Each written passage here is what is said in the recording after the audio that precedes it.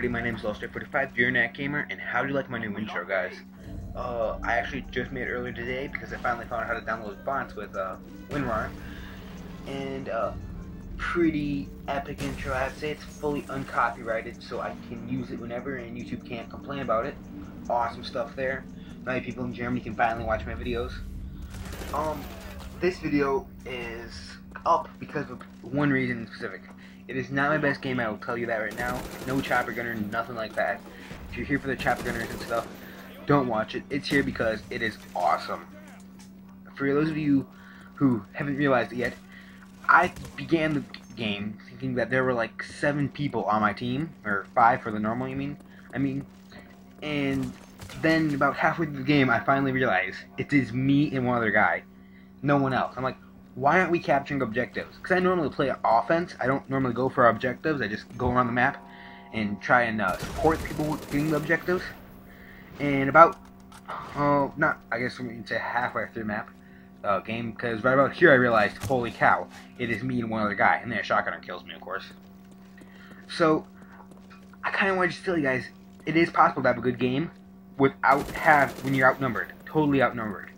Because you look at this game, I believe I do 35 and 17, and it's me and the other guy, and the other guy dies constantly.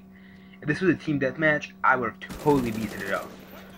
Um, it was towards the end of my prestige, so I think two games after this, I finally prestige. Uh, definitely towards the end of my prestige, but it was amazing.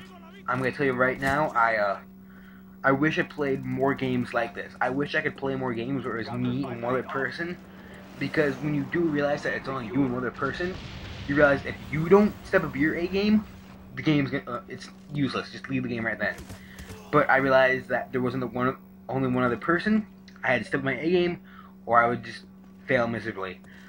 So I quickly got into action and uh, I started uh, playing a bit more seriously, uh, more offensively, more anything basically to win. And I really just want to kind of make sure you guys realize you don't have to have teams in order to win. They're awesome, especially in Team Deathmatch. But think, Free For All is just another valid mode. And I'm pretty good at Free For All, actually. It's something that I can do, sorry guys, uh, better at. But other than that, I kind of wanted to actually talk about something else. And that is the live stream uh, tournament draft I don't have 50k subscribers, so I'm clearly not in it. But something happened when they were drafting uh, teams. So, I believe it was the part where Woody was choosing his next character. It was uh, he chose. And then Outpit Pwnstar's in it. He hasn't made a video since the draft, so I don't know if he's in it or not. He said he wasn't going to be, but he's still on a team, and hopefully Woody sent down a man. But, uh, so I was checking that out, and uh, the guy named Alki, who was a billionaire, hosted the thing. He is some. I'm gonna say right now, he's a total jerk. If I was there, I would have dropped out when this happened. But the first thing he did was he told people there that he was going to live stream assisted suicide. That right there, that's the point where I would have been like, no, I'm sorry, I dropped out of this tournament. If my team wants to play still, it's their choice. I drop out, find a new captain. I know a lot of people are like, of course, everyone does that. And I do realize that when that moment comes, you don't want to step up to that billionaire because you don't know what he could do to you. But I just can never do it. I, my morals are too tight as a person to allow someone else to do something like that in a way that it will affect me.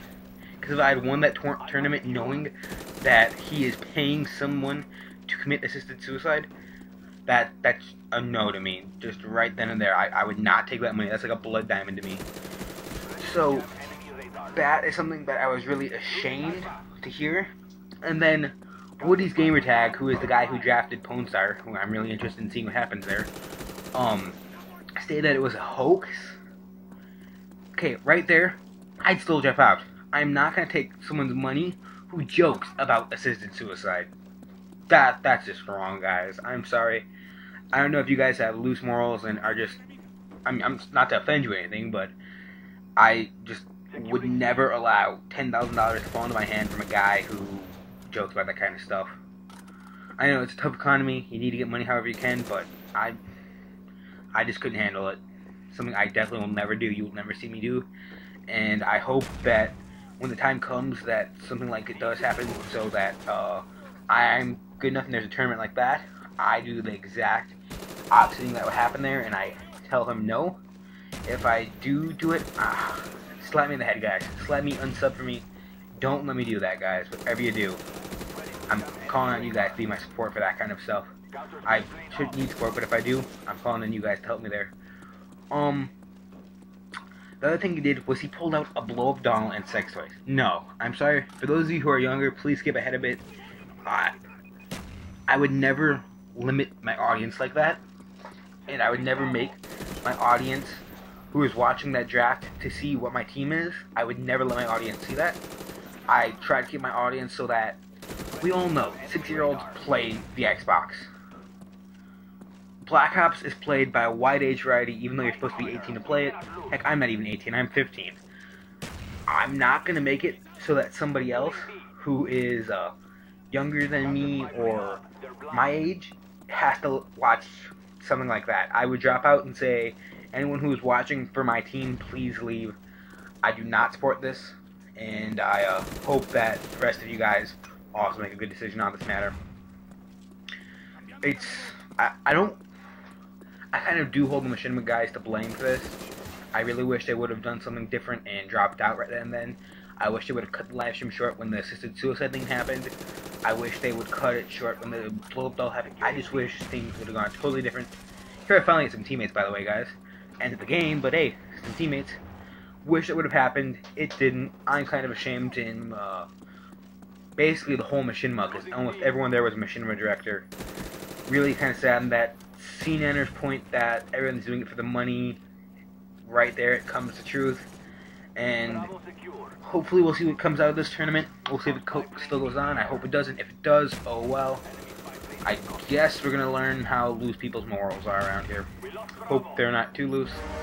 Other than that, guys, have a nice day. Remember to like, dislike, and comment. Subscribe if you be so kind. And uh, I'll see you on the far side. And hopefully you'll see me there too.